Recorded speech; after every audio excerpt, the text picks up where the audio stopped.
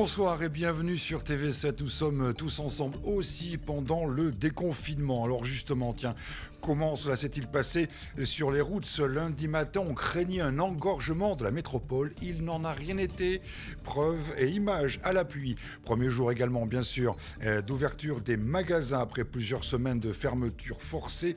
Dominique Parmentier s'est rendu ce matin rue Sainte-Catherine à Bordeaux pour voir un petit peu l'ambiance des commerçants en tout cas qui poussent un ouf de soulagement, mais qui reste inquiet. C'est ce que nous dira le président de la Chambre de commerce et d'industrie Bordeaux-Gironde, Patrick Seguin.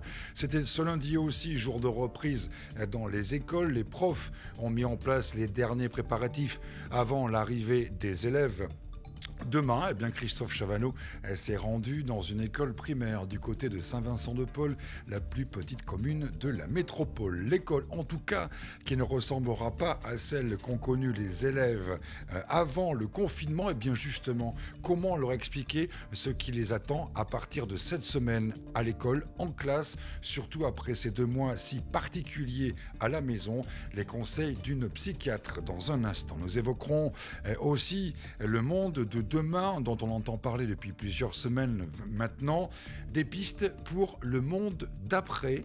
Euh, eh bien, c'est Nicolas Pereira, l'organisateur du World Impact Summit, euh, qui nous en donnera euh, quelques éléments et nous essaierons, comme ça, toute la semaine, de voir un petit peu le point de vue des uns et des autres concernant donc ce fameux monde d'après. Mais il n'y a pas eu que la fin du confinement qui a fait la une de l'actualité. En effet, 48 heures de pluie non-stop durant le week-end. Vous allez voir ces images assez impressionnantes, conséquence des inondations en Gironde.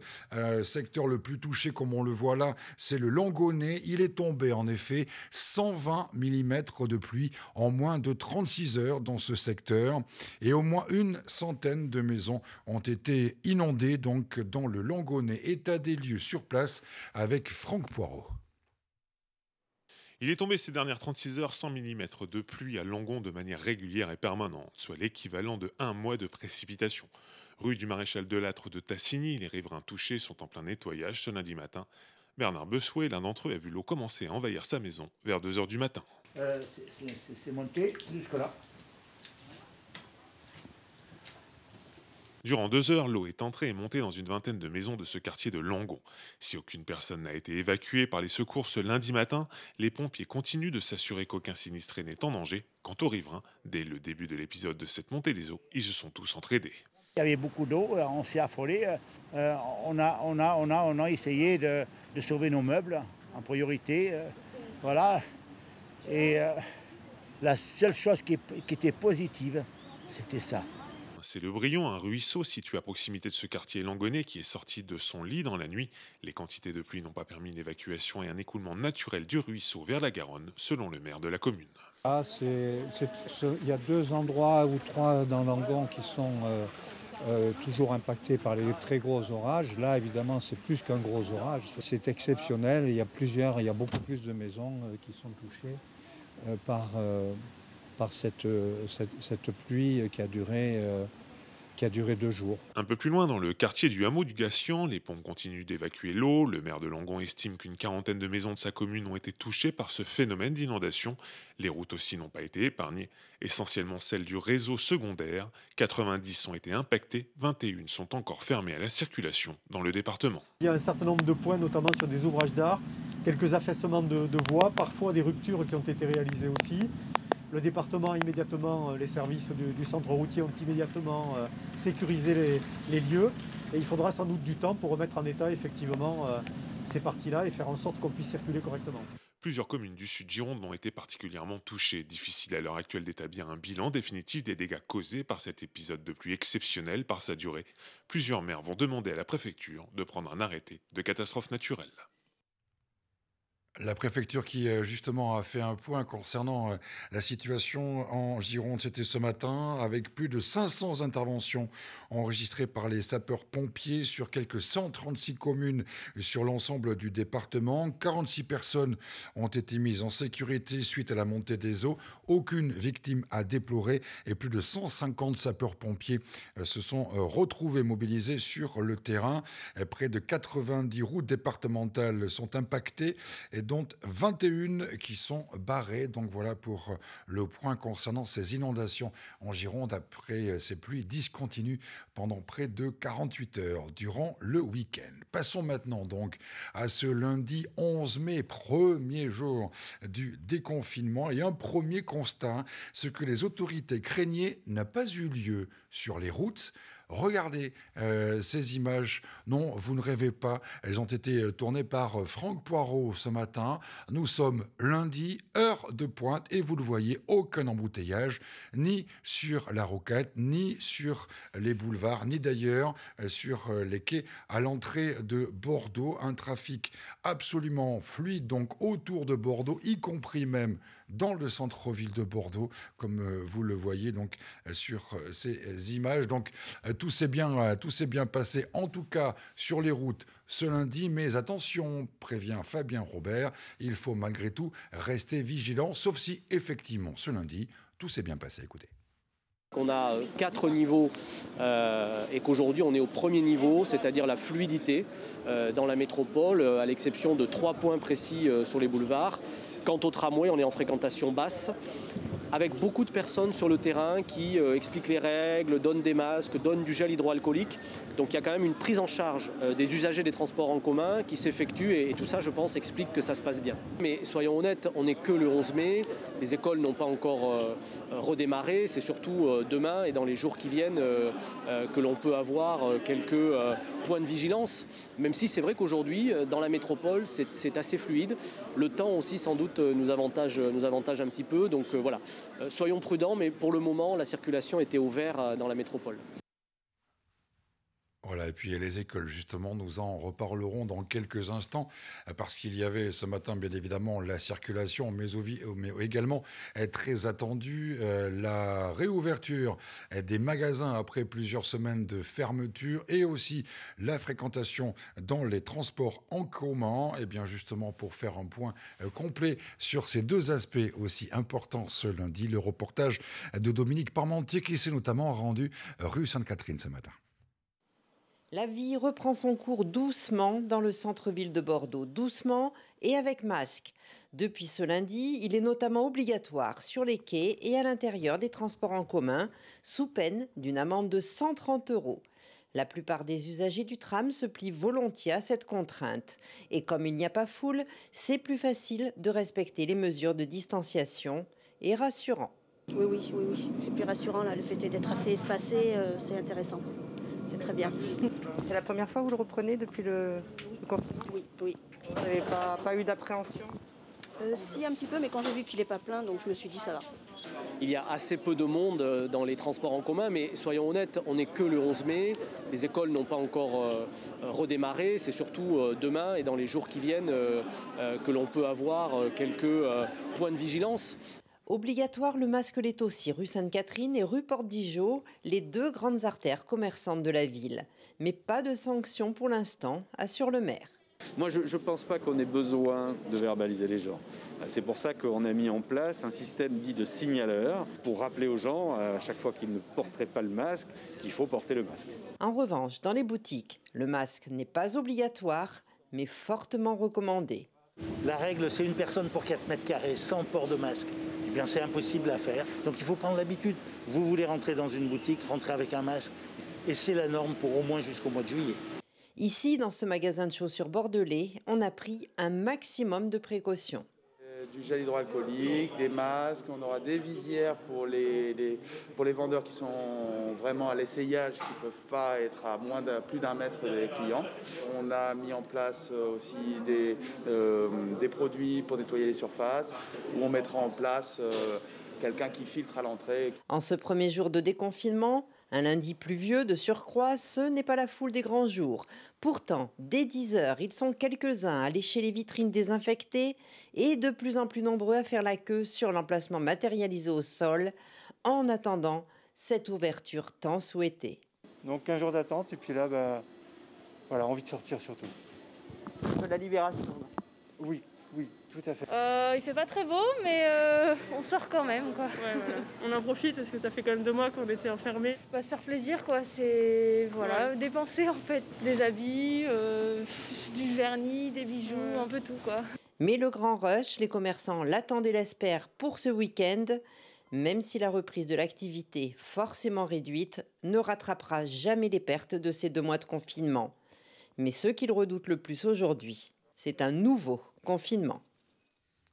Voilà, ouf de soulagement, donc vous l'avez entendu pour, euh, pour les clients. Ouf de soulagement aussi pour euh, les commerçants, puisque euh, Patrick Seguin, le président de la Chambre de commerce et d'industrie de Bordeaux, était également ce matin rue Sainte-Catherine. Pour lui, pas de doute, ce lundi est un jour symbolique. Je suis avec Patrick Seguin. Bonsoir. Bonsoir. Jusqu'à présent, on faisait ensemble le point sur le confinement. On va d'ailleurs reparler hein, de l'aide aux entreprises. Mais c'était la première journée de déconfinement. Vous étiez sur place, rue Sainte-Catherine. Quel sentiment vous, euh, vous, avez eu? Comment vous avez ressenti euh, ce moment euh, symbolique? Alors, Je crois que c'était pour bon nombre de commerçants et d'acheteurs qui étaient présents malgré le mauvais temps, la délivrance. et puis beaucoup d'espoir. On a vu des commerçants le sourire aux lèvres en disant ça va marcher et on va pouvoir enfin retravailler. Il y avait un côté vraiment de, liberté, nouvelle liberté retrouvée. Et lorsqu'on a fait le tour avec euh, Madame la préfète et Monsieur le maire de Bordeaux, entre autres, euh, nous avons pu voir que ça s'organisait avec euh, des choses à améliorer, notamment sur les, les queues des, des, personnes qui attendaient sur les trottoirs. C'était un peu trop près. Donc il y a des, des personnes qui sont là, qui pour rappeler les règles. Et on a vu euh, surtout euh, bon nombre de commerçants qui avaient pris euh, la décision de, marquer dès l'entrée dans leur commerce port du masque obligatoire. Donc, Madame la préfète a dit c'est peut-être quelque chose qu'il faut imposer. Ça va rentrer dans les mœurs petit à petit. J'imagine que tout le monde va trouver sa façon de, de fonctionner, notamment dans les commerces, bien sûr, et rue Sainte-Catherine en particulier. Oui, tout à fait. Dans cette grande artère où il y a plus de 240 commerçants, c'est vrai que c'était un peu compliqué. Il y a euh, nécessité de revoir euh, quelques points d'organisation qui ont été mis en place par la, la mairie, mais dans l'ensemble, ce matin, ça a commencé à bien marcher. Vous avez également fait un, point ce matin euh, concernant cette fois ben, le, pourquoi des appels des entrepreneurs euh, auprès de la CCI. On, va en reparler pas mal, ont des difficultés euh, financières et de trésorerie. Mais il y en a de plus en plus aussi qui vous appellent en nous disant Help, j'ai besoin de conseils pour la réorganisation de mon entreprise. là aussi, vous, vous mettez des choses en place. Oui, c'est vrai qu'on est passé du, stade où on accompagnait principalement pour avoir euh, bénéficié des aides, bénéficié du PGE, bénéficié de, reports de, de loyers, etc. Un accompagnement à caractère euh, technique vers euh, quelque chose qui est en train de changer, qui est effectivement l'accompagnement pour que le, déconfinement et la reprise d'activité se passent au mieux. Et donc, on a mis en place un certain nombre d'outils de, façon à ce que, euh, à la demande, à la carte, on puisse euh, accompagner les entreprises pour euh, les aider à, justement ce que la reprise se fasse dans les meilleures conditions. Parce que ce qui peut éventuellement faire peur les entrepreneurs, c'est leur responsabilité, leur responsabilité pénale. Hein. c'est ça qui peut inquiéter peut-être les entrepreneurs. Oui, il y a une inquiétude à ce niveau-là. Il y a aussi euh, la nécessité de, faire euh, un, tableau de bord post-confinement parce qu'on va, dans les premiers jours, voir de quelle façon le chiffre d'affaires va être là ou pas là en fonction des, dépenses qui sont engagées. Donc, donner des outils pour pouvoir euh, continuer ou décider de continuer en partie ou au contraire augmenter les horaires pour, en ce qui concerne les commerçants. En ce qui concerne la responsabilité, il faut rappeler que nous sommes toujours dans le cadre de la, loi sur le, Code du travail et le chef d'entreprise, quel qu'il soit, que ce soit un commerçant avec deux personnes ou une grosse entreprise avec 500 personnes, le chef d'entreprise a une obligation de moyens il doit, dans le cadre de la loi et dans le cadre des règles de, déconfinement, mettre tous les moyens nécessaires pour protéger ses collaborateurs et protéger ses clients. Au-delà, il ne faut pas faire peur aux, entreprises et aux entrepreneurs en leur disant si quelqu'un attrape le Covid-19 en venant chez moi, c'est moi qui suis responsable et qui vais, aller devant le tribunal. Non, ce n'est pas comme ça que ça se passe. D'abord, c'est très difficile à prouver, malheureusement. Et euh, de toute façon, à partir du moment où l'entrepreneur a mis les moyens dans son magasin, dans son usine, dans son entreprise, et, qui, le fait respecter, et il a rempli son contrat. Patrick Seguin, euh, là, bien évidemment, c'est le premier jour de déconfinement, hein, trop tôt pour tirer un bilan. Il faut quoi Attendre une semaine, 15 jours pour se rendre compte si effectivement on est sur le véritable chemin de la reprise? Je pense que la semaine euh, suffira dans la mesure où, en plus, euh, on est dans une période euh, climatique où aujourd'hui il, pleuvait, donc ça n'encourage pas forcément les, les, chalands à venir se promener. Mais déjà, il y avait un peu de monde ce matin. Cette fin de semaine, et notamment samedi, il est prévu du beau temps, donc je pense que ça sera le moment de vérité pour voir si les gens viennent, bien sûr, chez, les, chez les commerçants, s'ils respectent les règles et si ça se passe bien dans les, dans les transports. Parce que comme vous avez dû le constater vous-même ce matin à, Bordeaux, on circulait parfaitement bien et il n'y avait pas grand monde dans les transports. Donc je pense qu'on va passer à une étape supérieure dans les jours qui viennent.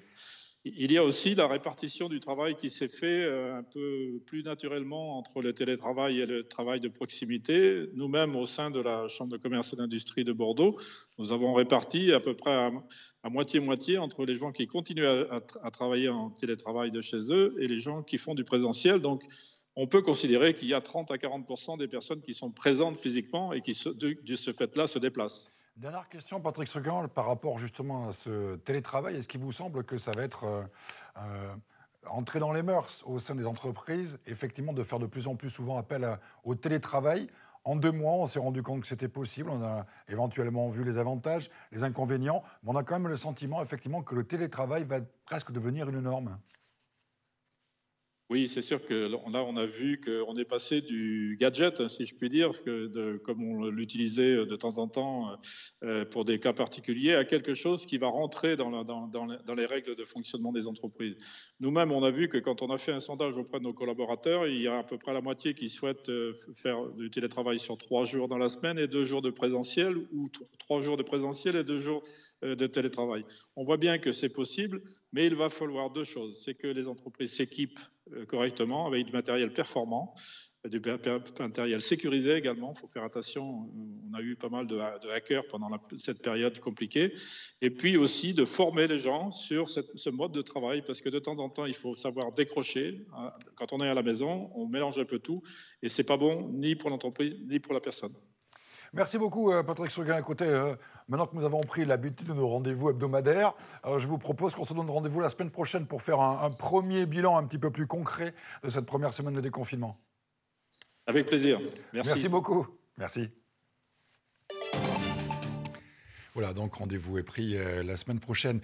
Euh, vous l'avez entendu, on attend euh, pas mal de monde. En tout cas, ce sera un test important le week-end prochain dans le centre-ville de, Bordeaux. Test important aussi, pourquoi pas, sur les plages. Eh bien, aujourd'hui, vous le savez, toutes les plages du littoral sont interdites d'accès. Mais, mais, mais, une décision nationale, au cas par cas, permet à chaque préfet, à la demande du maire, d'autoriser une plage à rouvrir.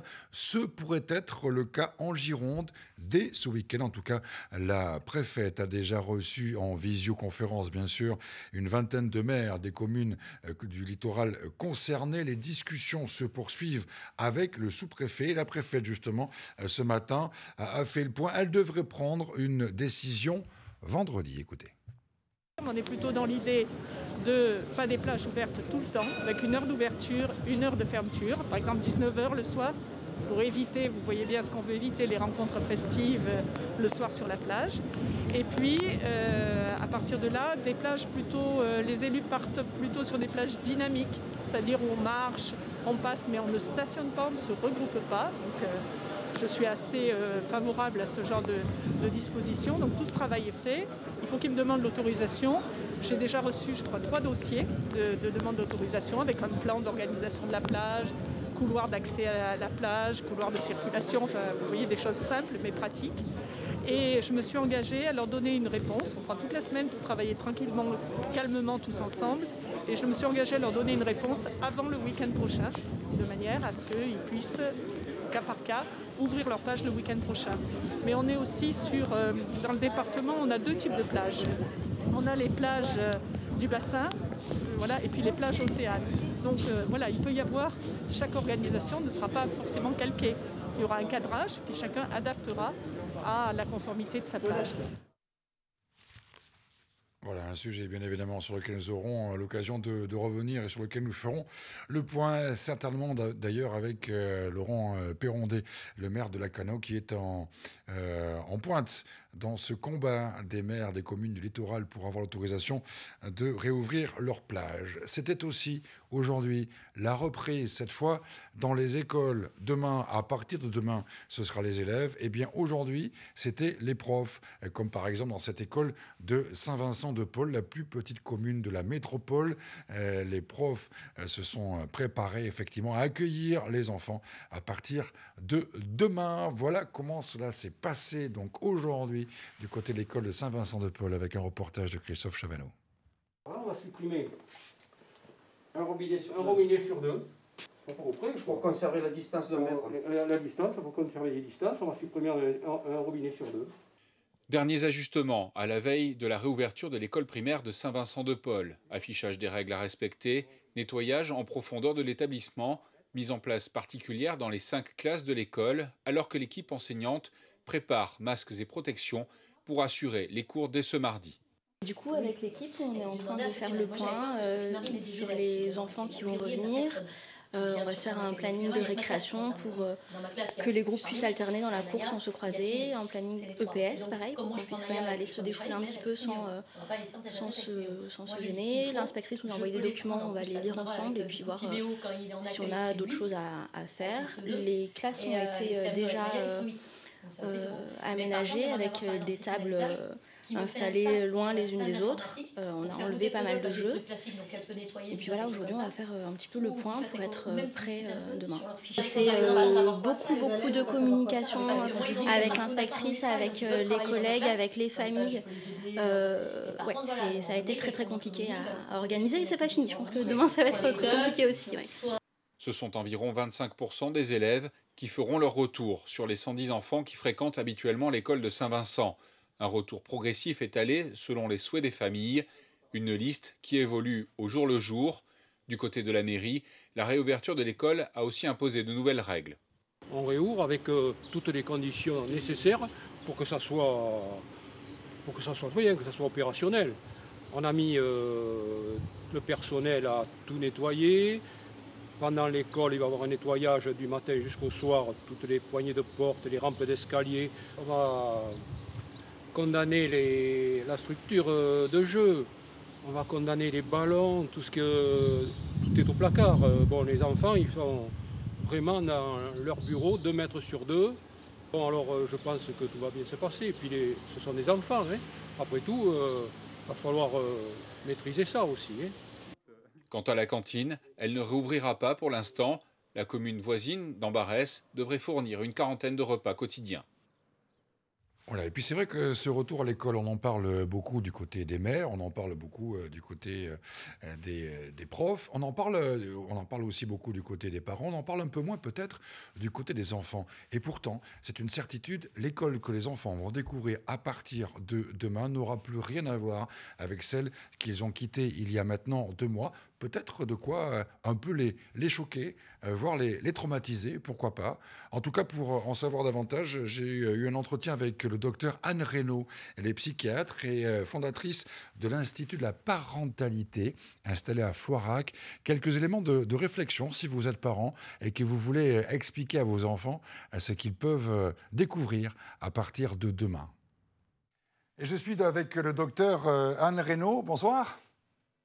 Bonsoir. On va bien sûr parler avec vous des enfants dans un instant, mais quelques mots quand même sur l'Institut de, de, la parentalité que vous avez créé. C'est quoi, Floirac c'est un institut qui euh, accompagne les familles pour comprendre comment se relient les enfants et les parents et comment on peut nourrir les liens au fil des événements de la vie et au fil de, euh, euh, ben, de toutes les expériences qu'on peut traverser. Puis on a aussi un organisme de formation pour accompagner les professionnels dans cette construction-là question va peut-être à vous, spécialiste, vous paraître un peu stupide, mais est-ce que cette période de confinement a été un moment très angoissant pour les enfants? Parce que tout le monde dit, ben voilà, ces deux mois, c'est carrément euh, euh, l'équivalent des vacances d'été. En général, on sort, on va à la plage, on fait des choses. Et là, on s'est retrouvé pendant deux mois confinés. Est-ce que ça a été un moment angoissant pour les enfants? Oui, oui. Oui, clairement, ça a été un moment angoissant parce que leur contexte a changé. les conditions de vie, la disponibilité de leurs parents a changé. Et globalement, ça les a mis en difficulté par rapport à, à, ce vécu-là. Également peut-être l'angoisse des, parents, hein, pour lesquels aussi cette période était particulière. Donc là, ça fait, j'allais dire, un sac de nœuds? C'est ça, ça fait une fusée à plusieurs étages. Euh, où euh, il y a l'insécurité matérielle, il y a l'insécurité sanitaire, il y a l'insécurité euh, parfois affective, avec, on le voit, une augmentation massive des appels au 119. Donc, toute cette insécurité est venue beaucoup bousculer nos repères et mettre à mal notre vécu, autant des adultes que des enfants. C'est vrai qu'en général, papa et maman sont les plus forts du monde, on est d'accord, sauf que là, on s'est rendu compte que bah, étaient peut-être un petit peu moins forts que d'habitude. Alors, ils sont moins forts et puis en plus, ils peuvent mourir.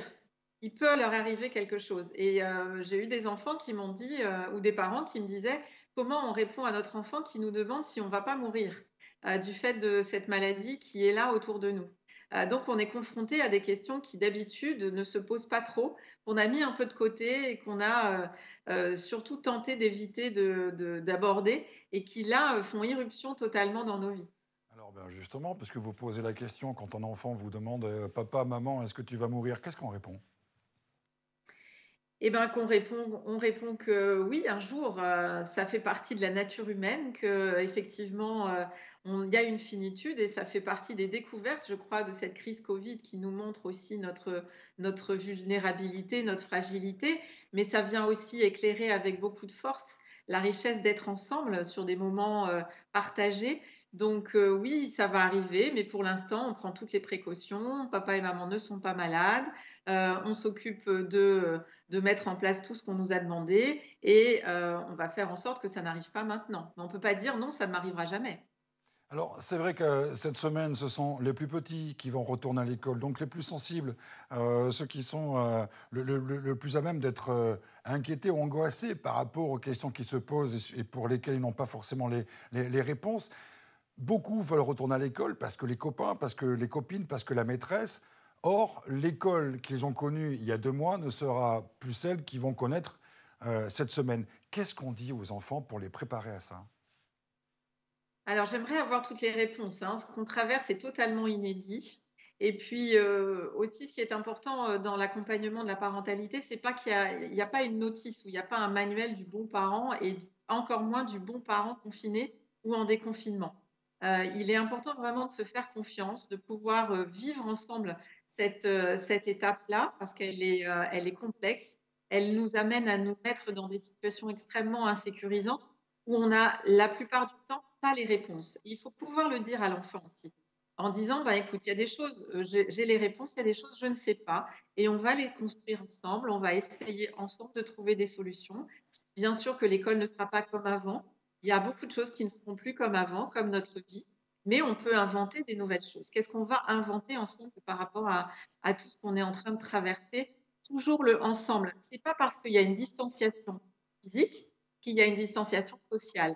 Et on, a beaucoup parlé de ce terme distanciation sociale, mais c'est la distanciation physique qu'on nous demande. On voit bien comment le lien social a essayé de se resserrer à travers les réseaux ou toute autre possibilité.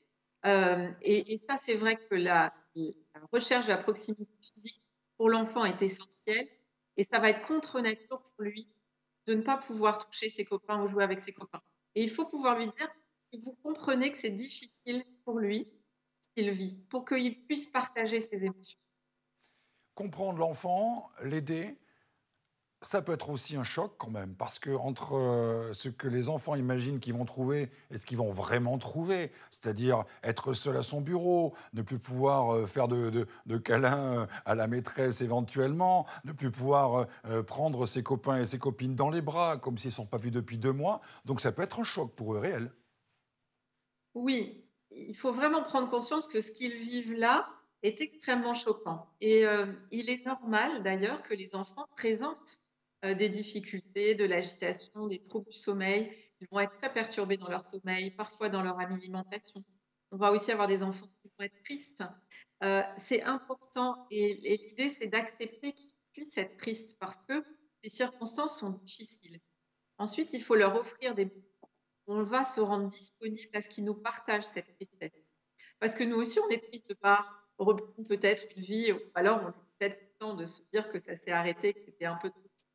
Mais, globalement, on, est tous impactés par ces émotions. Donc, c'est comment on s'offre des moments où on va les partager. C'est pour ça que quand l'enfant va rentrer de l'école, c'est important d'avoir un temps, un temps où on va pouvoir se poser, où on va pouvoir être disponible pour que l'enfant nous parle et la deuxième chose, c'est de pouvoir ne pas vouloir rationaliser tout de suite en lui disant Bon, écoute, c'est pas grave, tu as quand même vu des copains, c'est déjà bien. Non, lui, il est très triste de pas forcément avoir la maîtresse de d'habitude, la classe de d'habitude.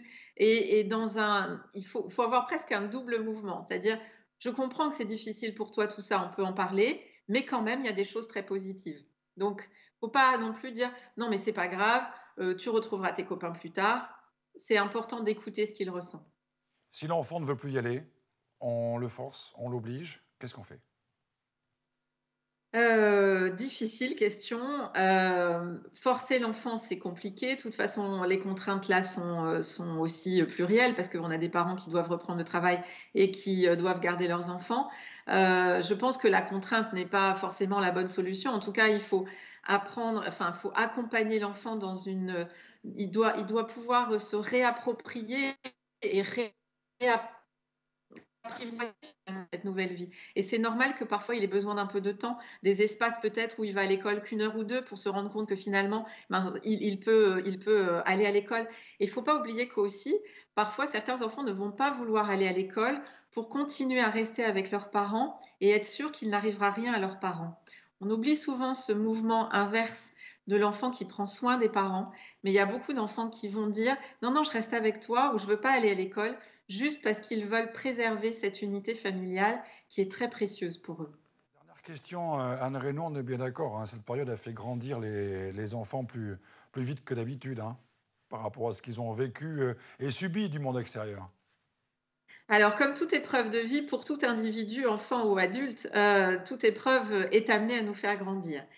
On ne grandit pas aussi vite qu'on ne voudrait et on passe d'abord par une étape d'inconfort, voire de souffrance qui vient bouger et, nous mobiliser par rapport à tous les repères qu'on avait construits. Moi, je parle souvent d'un strike au bowling. Là, en fait, euh, le Covid, il a, il, a, il a fait tomber toutes les quilles. Et c'est important aussi de se laisser le temps de savoir quelles quilles on veut remettre. Euh, est-ce qu'on a envie de faire ça ou ça ou plus? Euh, donc, euh, ne pas forcément vouloir retrouver une normalité euh, instantanée. Et puis, quelle normalité par rapport à ce que je vois souvent écrit sur le monde d'après? Le monde d'après va justifier que pour grandir, il faut se donner cet espace de réflexion et puis donner sens aussi à ce qui s'est passé. Donc, raconter, se raconter l'histoire, en reparler, partager, c'est important. Donc on va retenir les, deux mots essentiels, semble-t-il, dans cette situation par rapport aux, enfants et vis-à-vis des parents, c'est ensemble et parler? Oui, c'est ensemble et parler, et c'est euh, cultiver le lien et chaque instant, parce que oui, on est mortel, mais oui, la vie aussi est un beau cadeau, et euh, à nous de savoir euh, en faire quelque chose. Merci beaucoup, hein, en tout cas, d'avoir donné ces quelques conseils pour les parents dont les enfants vont reprendre l'école cette semaine. Merci. Voilà, et puis justement, euh, demain, nous verrons comment cela s'est passé pour euh, les enfants, les premiers qui ont découvert cette nouvelle façon d'aller euh, en classe. Nous l'avons fait depuis le début du confinement, nous allons continuer à le faire. Un tour des agences sud-ouest pour faire un point sur ce qui se passe en Nouvelle-Aquitaine, direction le Béarn avec Odile Fort. Le Béarn, sachez-le, est une des, des secteurs les moins touchés par le Covid en France. En Béarn, le nombre d'hospitalisations décroît. L'hôpital de Pau euh, nous signale 8 patients euh, accueillis dans l'unité euh, Covid-19, dont deux en réanimation. Parmi ces deux cas, un est originaire du Grand Est. Il avait été acheminé, vous vous souvenez sans doute, par un TGV médicalisé. 13 lits seront réservés au virus jusqu'en septembre, sachant que ce chiffre peut augmenter à tout moment en fonction d'un retour éventuel euh, d'épidémie. 25 euh, décès euh, sont à déplorer en totalité dans le département des Pyrénées-Atlantiques, dont 20 dans les établissements d'accueil des personnes âgées, ce qui le fait un des, départements les moins touchés de France en rapport avec sa population de 680 000 habitants. À titre de comparaison, son voisin des Hautes-Pyrénées déplore 53 décès pour trois fois moins d'habitants. Aujourd'hui, 330 cas sont confirmés Covid-19, ont été testés.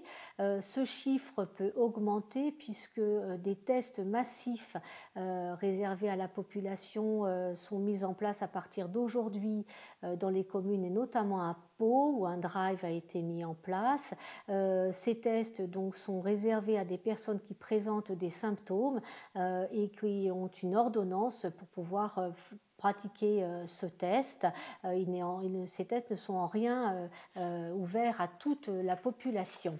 En ce qui concerne la distribution de masques, plusieurs communes donc l'ont mise en place ce week-end, soit une distribution à domicile, soit au moyen de drive ou d'un point de distribution unique. Donc plus de 100 000 masques ont été distribués le week-end dernier sur une commande de 700 150 000 euh, pratiqués par euh, la communauté d'agglomération.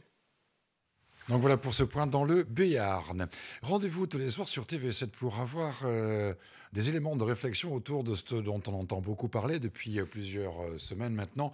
Le monde d'après, plus rien ne sera jamais comme avant paraît-il en tout cas. Alors, à quoi pourra ressembler le monde d'après, le monde de demain? Eh bien, élément de réponse, c'est bien, pardon, élément de, réponse ce soir avec Nicolas Pereira. Il est notamment euh, le créateur du World Impact Summit euh, qui devait avoir lieu euh, ces derniers jours et qui finalement aura lieu à l'automne prochain. Et je suis avec Nicolas Pereira. Bonsoir. Bonsoir. Alors, euh, vous êtes entrepreneur, on va dire engagé dans des démarches euh, de défense de l'environnement. Vous êtes aussi le créateur de World Impact Summit, qui devait avoir lieu en plein confinement et qui sera finalement repoussé en octobre. Et pour que les choses soient claires, vous êtes également présent euh, sur la liste des municipales de Nicolas Florian. Voilà pour le portrait rapidement. Parlons maintenant de ce monde de, demain, vous qui êtes très engagé. Est-ce qu'il vous semble que la crise que l'on vient de, connaître de plein fouet, de subir euh, violemment, va peut-être euh, déclencher quelques réflexes ou réveiller quelques consciences?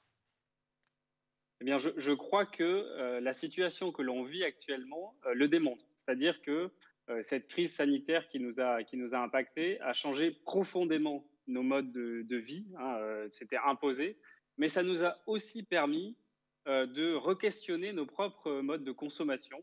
Et on a vu se développer notamment euh, les circuits courts, euh, plein, de, plein d'initiatives qu'on pensait impossibles ou qu'on nous disait impossibles, qui finalement ont été possibles, ont été mises en œuvre à Bordeaux et dans d'autres villes. Et donc, je crois que cet impact qu'a eu la crise sanitaire va nous permettre durablement de questionner nos modèles de consommation, nos modèles de vie, et d'aller vers des solutions différentes. Et sur cet aspect-là, je crois que les entreprises, alors moi je défends effectivement avec le sommet des solutions pour la planète, euh, des solutions qui sont portées par les entreprises. Comment est-ce que les entreprises se saisissent de cet enjeu de développement durable? Elles ont compris avec cette crise qu'il va être nécessaire dans les prochaines années de renforcer leur engagement pour l'environnement et donc elles vont davantage mettre en œuvre ces solutions. Moi j'y crois fortement parce que c'est l'avenir. Cette crise ne, doit, ne doit pas nous faire retourner dans le monde d'avant le monde du tout pétrole. On a entendu le MEDEF qui disait il faut euh, faire un moratoire sur les mesures environnementales. Non, surtout pas. Au contraire, le monde d'avant est en train de, entre guillemets, de mourir. Il faut encourager, accélérer le développement du monde d'après. Il ne faut pas croire que la transition, c'est nécessairement plus difficile ou plus coûteux que le monde d'avant, que les méthodes d'avant. Au contraire, cette crise permet à des entreprises, des entrepreneurs de se questionner sur leur modèle économique. Ils n'ont pas le temps de le faire le reste du temps parce qu'ils sont la tête dans le guidon. Là, ils se disent, et nous, enfin moi j'en côtoie énormément, qui se disent, mais peut-être que c'est aussi le moment de revoir comment dans mon modèle économique, je peux être plus vertueux, plus responsable et plus euh, respectueux de l'environnement. Moi, je, porte ça et je crois que c'est vraiment euh, le monde d'après, la reprise peut être axée sur le soutien et la mise en avant de ces solutions, de ces entreprises qui agissent concrètement. Il y a effectivement des, centaines, voire des milliers de milliards qui sont injectés actuellement dans l'économie pour faire repartir la machine. Et sur le, site du World Impact Summit, allez, faire un tour, hein, c'est WIS, notamment un entretien avec Isabelle Autissier, qui dit, qui dit, elle, la présidente de la WWF, qui dit il y a beaucoup d'argent, certes, mais il faudrait des conditionnalités justement au financement des entreprises qui pourraient bénéficier de ces fonds. on ne part pas là-dedans, on est d'accord hein alors, c'est effectivement pas vraiment la direction qui est prise. Alors, on essaie, mais en même temps, euh, d'un côté, on y va, puis après, on recule, etc. C'est pas très, très clair en ce moment, je suis d'accord. Et pourtant, euh, je crois que vraiment, c'est indispensable. C'est-à-dire que les entreprises, en tant qu'acteurs rationnels, la meilleure façon de les faire changer, c'est de les impacter économiquement. Alors, pas négativement, c'est-à-dire que moi, je crois plutôt en l'écologie, en l'écologie positive, et donc inciter les entreprises parce qu'elles recevront ou elles auront des avantages à mettre en place des stratégies de transition. Aujourd'hui, quand on parle de financer, de refinancer ces entreprises qui sont en difficulté, notamment Air France, euh, effectivement, je crois qu'il serait intéressant et qu'il est indispensable de dire que pour ces entreprises qui sont de fait des entreprises polluantes, on est en capacité de leur dire, OK, on met de l'argent sur la table, mais en contrepartie, faites un effort, construisez un plan de transition qui soit impactant, qui soit efficace, qui soit chiffré, qui soit rapide, parce qu'on est dans, une forme d'urgence aujourd'hui. Les entreprises sont en capacité de le faire. Il faut leur demander, il faut leur exiger, parce que lorsqu'on leur demande et qu'on l'exige, elles sont en capacité de le faire. Alors Isabelle Autissier, toujours dans cette euh, vidéo tout à fait, tout intéressante, dit, dit euh, il faut revenir aux fondamentaux. Et les fondamentaux, c'est quoi? Respirer, boire, manger. C'est-à-dire que, par exemple, eh bien, voilà, euh, pour respirer, 50% de l'oxygène vient du plancton, dit-elle. Donc, il faut s'occuper des mers. Il y a des problèmes avec l'eau, sécheresse ou inondation. Donc, c'est un vrai problème. Problème d'alimentation, 1 degré. Vous voyez, j'ai bien récité, hein, j'ai bien, retenu, j'ai pris des notes. Euh, pour l'alimentation, elle dit 1 degré supplémentaire de, de réchauffement climatique, c'est 10% de produits alimentaires en moins. Donc là, on est en train de parler d'économie, d'avions, etc.